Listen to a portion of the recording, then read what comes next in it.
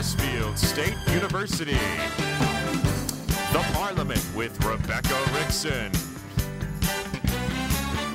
Tonight's guest is Wiley Olmstead with GameSpin, featuring Drew's News Update and Kelly's Corner, Random Thoughts, and Dealing with Dave. And now, here's your host, Rebecca Rickson. Hello, and welcome to this week's episode of The Parliament. I am your host, Rebecca Rickson. On tonight's show, we will have a video game discussion, Drew's News, Dealing with Dave, Random Thoughts, and an interview with the captain of the Westfield State basketball team. Tonight's show is full of excitement. Speaking of, I had a very exciting day, but it turned quickly into a sticky situation. I woke up extra early and made it to breakfast for once. Not only that, I got dressed. And when I say I got dressed, I mean I put something besides yoga pants and a baggy sweatshirt on. It's also been wonderful because I'm here hosting the show. With all that being said, it's been a great day until I ran into every Westfield State Tinder match I have. Right then and there, I knew things took a turn for the worse. No need to explain every awkward encounter, I'm just going to explain how to survive it. Plain and simple, don't match with anyone from your school. But let's get real, that's impossible. Here are some quick, easy steps. Look good every day so your pictures aren't considered fake. And don't be that creepy person and stare like you are completely obsessed. Don't act like you're a couple. And don't play that look down at my phone game, I don't know you, I'm never gonna make eye contact, because we're all famous for that. And don't message them 20 seconds later saying, hey, I saw you. And also, don't bring up the fact that you're a match on Tinder. To survive the awkward Tinder match encounter, simply just be yourself, glance every so often, and show a little smile, and hopefully they will do the same. I would like to welcome Wiley Olmstead to talk about his new segment about video games. Hello, Rebecca.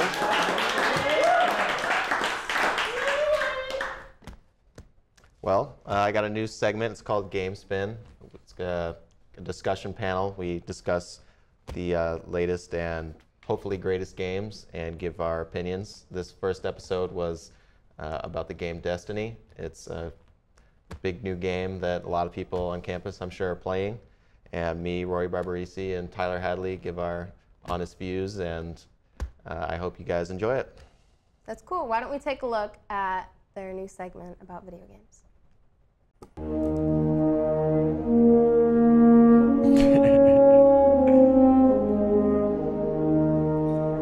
What's up, Owl Gamers? I'm Wiley Olmstead, and this is a new segment on the Parliament called Game Spin. Today, I'm here with Tyler Hadley and Rory Barbarisi, and we're here to discuss the game Destiny. Now, Destiny's been out for almost a month now. We've all had a good amount of time to play it, and we're here to give you our honest views and impressions of the game and our final verdict. So, um, this game had a lot of hype, had a big budget. Uh, 500 million, that's the estimate from some people. It's developed by Bungie, the famous uh, developer of the Halo series, published by you know the giant Activision, who also publishes the Call of Duty games. So um, what I want to go over first is what are the positives of the game? What met the big expectations that you had? Um, so if you want to start us off, Tyler. All right. Well, yeah. Um, I really think the entire multiplayer aspect, being cooperative and PvP, really worked well for Destiny. I mean, I specifically bought a PlayStation 4 just to play Destiny, and Happy I- with your decision? yeah, I play it all the time. Um, I've put a bunch of hours into it. Not so much. When I first bought it, I put in a lot of hours, and now it's just kind of here and there whenever I get the chance. But I still play it all the time. Um, yeah, I mean, I'd say multiplayer is a big uh, aspect of the entire game. Obviously, it's going on all the time. You have to have it to play it. Yeah, sure. Uh, Rory? Um, again, my favorite part is the multiplayer aspect, particularly on the patrol missions where you're riding around on your Sparrow and you see someone over the corner and it's another player and you guys engage in fights with each other to fight against the like all the, the Vex and the aliens and stuff like, Like all that. the, all the Yeah. public events. All the and public everything. events, are yeah. crazy. And the fact that the um, yeah the public events trigger also is pretty cool. Yeah, I mean, it's definitely interesting that it's an only online game. I mean, that's a first for Bungie. Um, one of the things, that the multiplayer wise, that was lacking for me is the lack of a chat functionality with people that you aren't friends with. I think they could have implemented that feature. Um, Also, the ability to trade items with people would have been nice. Um, so Yeah, just little things people- like that, which maybe they Then people would just get trade items and get overpowered way too fast. But kind of takes away a little bit from it. But I can That's see why. I can I see mean, why some could- people would want it.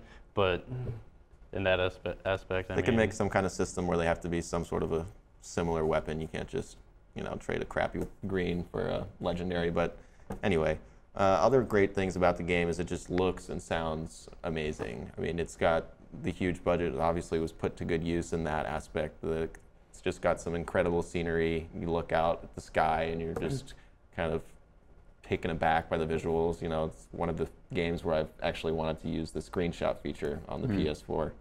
Um, so yeah, I mean, technically the game's really sound. It's got great gameplay. It's got very satisfying shooting mechanics. Really great. Like Bungie does melee attacks better than any other developer I've ever seen. It's just Yeah, satisfying. definitely. Really wham someone in the face. But uh, I have a question. Sure. Have any of you guys ever played with the ball in the tower? The ball in the tower I No, have. That's always a good time. Probably Bungie's the really best part of the game. But really, where Bungie dropped the ball was the story. Uh, the story is just honestly an afterthought. Um, the only character that is of any significance is the ghost or little robot that follows you around. Um, and voiced by Peter Dinklage, I might add. voiced by Peter Dinklage, does an incredible job on Game of Thrones. Really flat delivery in this game. He's just, uh, I mean, he doesn't have any good dialogue to work with, but uh, it just, you just start to tune him out after a while. There is a shrine here, but it's further in the Hellmouth than anywhere we've been. We should try to destroy it before it's too late. So, did you guys think that the story was? No, good at yeah, I. I completely agree. There's really not many characters at all. Really, there's you, the ghost, the speaker, the vanguard, the queen, and then all the enemies. But nobody really plays that big of a. I mean, you have to wonder if they really meant to make the story so insignificant. Well, for me, I'm going to give it an 8.0. Uh, I think that's a great score. It, you know, nine would have been better, obviously, if it, the Oh, story yeah, was yeah. good, if it had uh, you know, cinematic cutscenes, if it had, you know, great, epic uh, story, just like Halo did. I know, you know, it's unfair to compare it to Halo, but that is, you know, that's what Bungie's known A for. game that's been around for years. Yeah. So, 8.0. What about you, Tyler? Um, I'd have to give it an 8.0 too. I mean, it's a good game and everything, but there's there's always a few things that it could improve on. Story being one of them. Um, yeah, I'd go with 8.0. Right now, um, I'd probably give it a 7.5. I usually don't like to judge games until a year after they've been released. But um, initially, the first couple weeks as I was playing it, I was very engaged in it. I was engaged in the story, the graphics, the gameplay overall was excellent. But then after all, after all that, it sort of Yeah. it sort of fell off my radar. Okay, so the final game spin score somewhere around 7.7 uh, when you factor in the 7.5. So Destiny, uh, pick it up. So join us next time on Game Spin. Thanks for watching.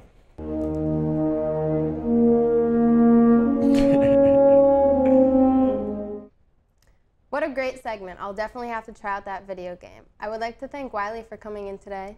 And Thanks for having me. you're welcome. And now for Drew's news.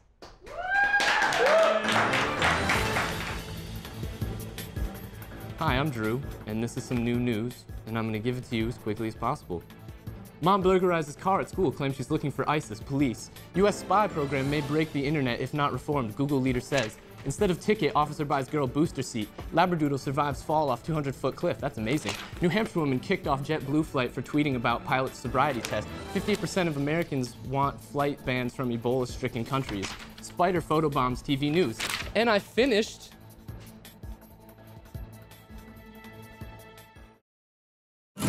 Across America, excess food is gathered by a network of good people at local food banks, helping solve child hunger. They've earned their wings, and you can too. Support Feeding America and your local food bank at feedingamerica.org. You make me wear my bike helmet. Taught me never to run with scissors. And to follow the swimming rules. You tell me to stay away from drugs. to always buckle my seatbelt. So why do you keep a loaded gun in your drawer? How safe is that? You asked them to follow some safety rules. Now they're asking you. In fact, they're counting on you. Never let your gun get into the wrong hands. Remember, always lock it up. Visit ncpc.org.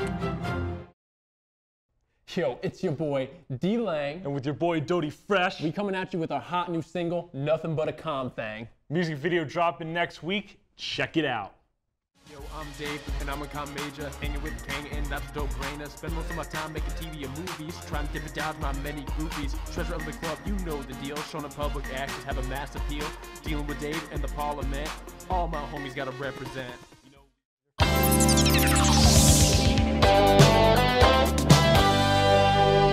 Hello, everybody, and welcome to another exciting edition of Dealing with Dave. I love him. I love you too. You gotta love them. Okay, so on this week's show, I've decided that we're gonna put our panelists' debate skills to the test. I sat down with an expert law panel and found five really old laws that, for whatever reason, are still technically in, in the system, and you could still be arrested for these things. Um, so I'm going to start from the left here. Would you guys mind introducing yourselves? Wiley, I know you're already on the show, but. Hi, I'm Wiley, and uh, yeah, that's about it. I'm Pat, and I'm ready for this game. Uh, my name's Anthony. I'm ready. All right, great. so, guys, what we're going to do, like I said, I'm going to pass this hat down. You guys are going to each pick a law out of the hat. Um, and then you're going to read your law out loud so people know what it is. Um, I'm going to give each of you a minute. You're going to you're going to say your piece on the law, why you think it should still be in existence. Why you th- That was the chair. That was the chair. No, that was you. All right.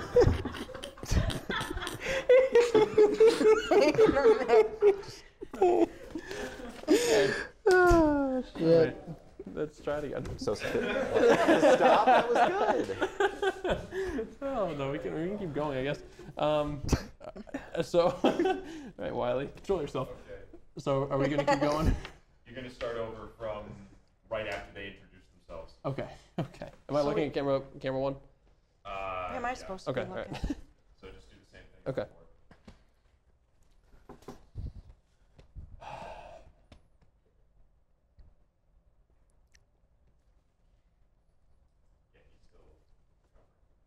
I'm good. I'm good. All right. Five, four, three, two, one. So basically, what I'm going to do is I'm going to take this hat. It's filled with a few different of these old laws. Um, I'm going to pass it down the line here, and they're going to read the law they pick aloud, and then they're going to have a minute and a half to debate to the rest of the panelists why they think that that law should still be active. And the other two panelists, of course, are going to be debating against them. Um, they're each going to have the tur- a turn to go, and once they've all gone, we're going to judge the winner based on the loudness of the audience. That sounds fair, I think. yeah. yeah. Okay. Yeah. So let's get started. Wiley, you have first honor since you're closest to me, of course. Okay. You want me to read it now, or are you gonna? I'll wait until the, the hat gets all the Okay. way down, and then we'll read it. Eeny, meeny, meeny. I'll just pick this one. Doesn't it go eeny, meeny, miny? I don't know how it goes. Yeah, All right, it does. great. All right, so uh, Wiley, can you read your law first, please? Sure. All right. It is illegal to sell toothpaste and a toothbrush to the mm-hmm. same customer on a Sunday. wow. Anthony, I s- All see the look This on- is in Rhode Island. I see the look on your face down there. Anthony, can you read your, your law, please? Yeah, it is illegal to honk your car horn at a sandwich shop after 9 p.m. Arkansas. Oh my And the god. last one. Holy meatball, this is long.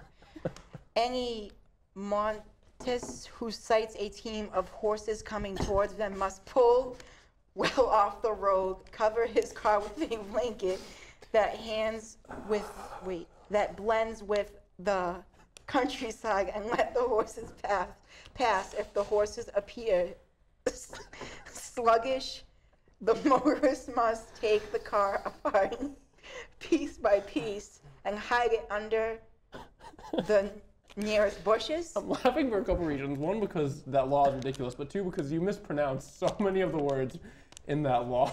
I'm not very, I'm not very smart. okay, well, I guess we're gonna start with Wiley first again because he's closest to me. So Wiley, you have that toothpaste law, right? Right. All right. So can you please reread it for the two panelists, and then are you in favor of it? You have a minute and a half. You guys just go back and forth. All right. And then after a minute and a half, I'm gonna cut you off. We're gonna move on to the next one. Go ahead, Wiley. Start it off. Okay, so it is illegal to sell toothpaste and a toothbrush to the same customer on a Sunday. Okay, so this is a Sunday law. Obviously, boils down to religious reasons or decency reasons. And first of all, if someone's buying a toothbrush and toothpaste on the same day, it means that they obviously have very raunchy teeth, very bad breath. And probably the reason that they created this law in the first place was that it's not, you can't just you know, one day decide you're going to be an upstanding citizen with clean teeth and fresh breath. You've, you've got to like work your way through it. And on Sunday, this is the most practical day since it is the Lord's Day. And, you know, since the toothpaste and the toothbrush, both of them together, is going to give you, you know, fresh breath, clean teeth eventually. They want you to, you know, pay for your sins of not doing it in the first place, of not having at least one in the house. So it's really the logical thing uh, to do especially since it is Sunday. It's not logical How? Can you explain why? because people have a right to buy the toothpaste and the toothbrush. It's common sense. If I want to go to the supermarket or Stop and Shop or CVS, I have a right to buy both of them. Just and like say if I'm a person who doesn't brush my teeth and I want to start now, they shouldn't punish me for that. I'm a human being with teeth. And what if my teeth fall out? It's that'll be their fault, and then they're gonna have to pay my dental bill. All right, Anthony. Um, I To your gotta, sake. I gotta agree with Wiley. I, I agree with that. You agree with them? Yeah, I agree with the law. I think it's a really outstanding law. It's a good law in Rhode Island, right? In Rhode Island. Rhode yeah, Island, state of great champions. state. That's how it is. Yeah, great Oh. state. Oh, all right. So we got two to one on the toothpaste All right, issue. I'm glad I could convince you. Yeah, All you right, convinced next, me. Next down the line. Uh, can, can I? I'll read. Can I read your law? Yeah. Just for everybody out there, please. Thank you. Nice catch. Thank you. Okay. So any motorists who sights a team of horses coming towards them must pull well off the road, cover his car with a blanket that blends with the countryside, and let the horses pass. If the horses appear skittish, the motorist must take their car apart piece by piece and hide it under the nearest bushes. And that is, in fact, a law in Pennsylvania. Wow. Why should that law exist? Well, basically, for all the folks out there who don't know, horse there are a lot of horses that die. Um, you know, they get skittish, and even if they see a car, they might like pass out or something. So honestly, it's better for the horses because everyone loves horses. I mean, people love to ride horses. You know, it's just horses are a mystical creature, and I believe in animal protection. Anthony. I just don't think it's logical because there's more cars on the road than there is horses on the road. And if you have to take, if you see a horse going down the street and you have 10 cars, you have 10 cars covering the cars, people covering the cars. It's just not logical. Wiley, what, what do you got? Yeah, I'd agree. It seems like a uh, stress, uh, a uh, burden on the average citizen to carry around the that sort of blanket uh, to, But- co- to cover it, uh, and also uh, it horses by this time in our modern society have become acclimated with the cars. I mean, you look at uh, New York City; they've got horse and horse and uh, what are they Sure. called? Horse and buggy? Horse and buggy. There, There you you go. And uh, you know, even though many people think that's cruel, me being one of them, right now I'm arguing the opposite side. Okay. So you know, What you got something to say? I mean, you're, you're outnumbered here. Quickly. I had a feeling it would come to this. Um, Is that the best you got? No, I'm, I, I was just about to speak, but you kind of cut me off. Um, no, I, I kind of, I don't like that. Like you have to take apart your car. But I mean, if horses get skittish, like they kind of have a slow brain, and like if they think that they're gonna die, then I don't even know how to take apart a car. I don't think anybody does. I mean, I know some people do, but you know, 99% of people don't. well, I mean, how are you gonna protect the horses? I mean, I mean, it's not like there's gonna be people out there. I mean, you're out there. Keep them off the road in the first place. Yeah, Well, keep them off the road. Yeah, they can't get. Get a car. The 21st century. Curious creatures. All right, we're going to stop this one there. Anthony, you're last up here. All right. Let's see what you got. It is illegal to honk your horn, your car horn, sorry, at a sandwich shop after 9 p.m. in Arkansas. And I agree with this law because what happens? It's a Monday night. You just had a hard day at work. You're eating a sandwich. It's about 9 o'clock, 9, 10. So many honks, you get mustard all over your pants. It's, your day's ruined. You may have had a good day, and you, now it's all ruined. It's just. what the hell does that have to do with it? Because if you honk your horn, I, I, get I get scared really easily. So if somebody honked my, their horn, I'd have mustard all the sandwich would be gone. It'd be on the floor. Yeah, yeah. It could startle you, and then you could get upset, and then, you know, your sandwich would be like destroyed or ruined, and then you'd have to get a new sandwich, and it's ridiculous. I mean, I love a good sandwich. What if I was eating at Subway, and someone honked the horn, and I got like buffalo sauce all over my nice blue pants? Like, Days over. Your Pants day's over, over. days Yeah, you over. gotta go to You're the about to get off of work anyway. Go No, you're already shower. off of work. It's 9 p.m. Well, you don't change the second you get off work. I mean, maybe you got out of work at like 8:59. Well, anyway, I don't usually get so startled when I hear a honk horn that I like. So spill you guys, are you, down my it's- do we have to rewrite the horse law for Anthony? Like, do you, if you have to pull the car over every time Anthony's on the road because it sounds like you're more skittish than the horses are. Maybe, maybe I'll go right through a fence, through a yard. I don't know. Okay. Okay. Well, I was okay. So, um, audience, you heard the argument. Can you guys please? I'm gonna go down the line here. If you think Wiley won this debate, please give him a round of applause. I lost. All right. John. John, right? it's Pat. What's wrong with you? Pat, I'm to sorry. upstage me I have a something? room. I have, I have two roommates named Pat and John. I just, I just, I mixed the names Do I up a look lot. like a drawing to you? well, they're twins, so I mixed their names up a lot. Anyway, it's Patrick with a P. Pat. I'm sorry, Pat. Pat. Can we get a round of applause for Pat? Wow. Sorry, Pat. You guys are a great audience. Sorry, Pat, John. And uh, Anthony. Round of applause. No. Okay. I mean, I think it's clear who the winner was here. Uh, Wiley by unanimous decision. Uh, I'm Anthony, Pat, John. Thanks for coming through, guys. Thanks for having us. I get to Really be on next appreciate week now. Uh, we'll see. We'll see. but anyway, uh, I'm Dave. They just had to deal with me. Uh, enjoy the rest of the parliament.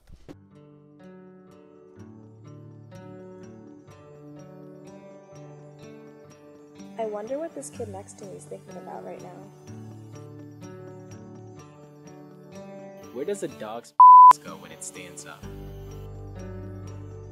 You are the universe experiencing itself. Thursday, happy leg. This is a nice ass sweater vest. I wonder why they named Courage the Cowardly Dog Courage. Why am I wearing this monkey suit? Do I want a cookie right now?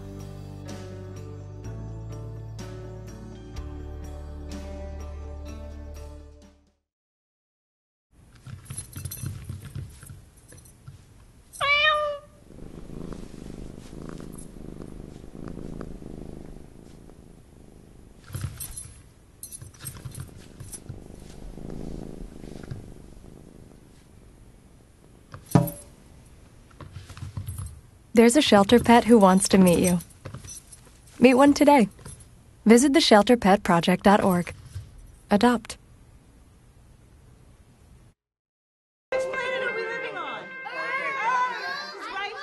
What do you think it would be like to teach? Chances are, you have no idea.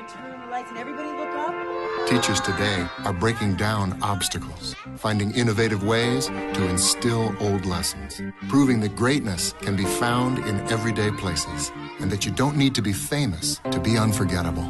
That's what it's like to teach.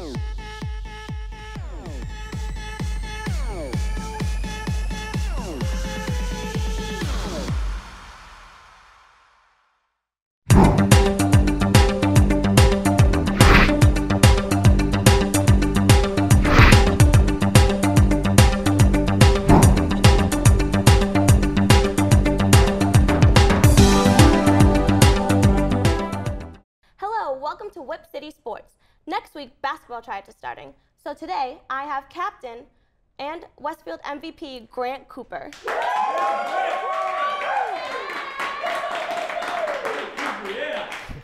Thank you for being here today. Thanks for having me. I appreciate it. Now, as a captain and tryout starting, are you mean to the freshmen coming in?